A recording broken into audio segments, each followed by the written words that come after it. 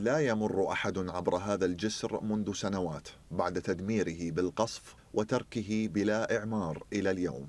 أزمة الجسور بمدينة الموصل في محافظة نينوى تمثل إحدى الأزمات التي تعيشها المدينة منذ إعلان انتهاء الحرب على داعش أواخر عام 2017 حيث تعاقبت عدة شركات على إعادة إعمار جسور الموصل دون إتمام العمل.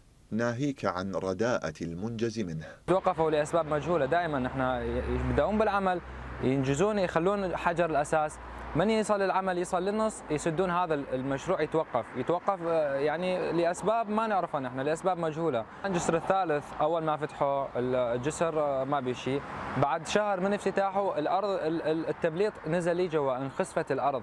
لكن اللي تفاجئنا به إنه بعد ما ينطيك آه، مدة عقد يوقع العقد على هذا الجسر ويقول لك إنه خلال سنة وست أشهر مثلا راح يكتمل الجسر نتفاجئ وننصدم اليوم إحنا أبناء الموصل إنه الجسر لحد الآن ما اكتمل. ومن نروح نشوف التوقفات اللي جاي تصير بالجسور.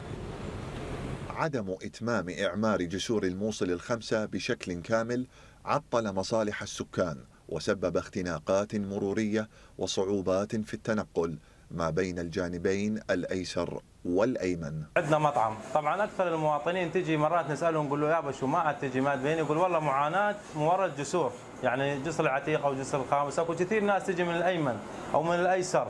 يعبر من ذاك الجانب. يشوف معاناة الجسر ما يعبر. يقول لك أنا ما أقدر أعبر. والله فرة طويلة. بنزين ماكو.